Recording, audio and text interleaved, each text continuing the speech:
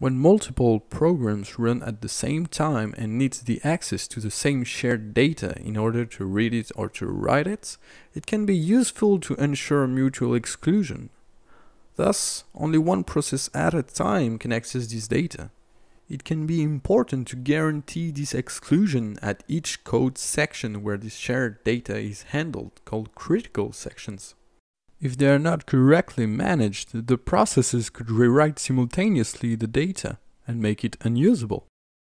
Some algorithm exists to ensure this mutual exclusion and we shall see one here called the Lamport's algorithm. It is commonly associated with the functioning of a bakery and processes can be found in multiple states.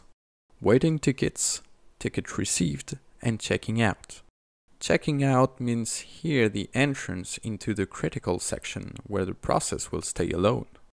The first step of this algorithm is the ticket attribution and the second one is waiting for its own turn.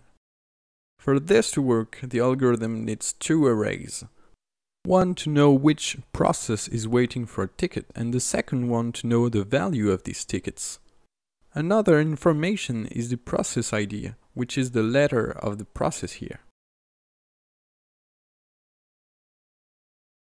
A enters the algorithm and is now waiting for a ticket. Same goes for B and C.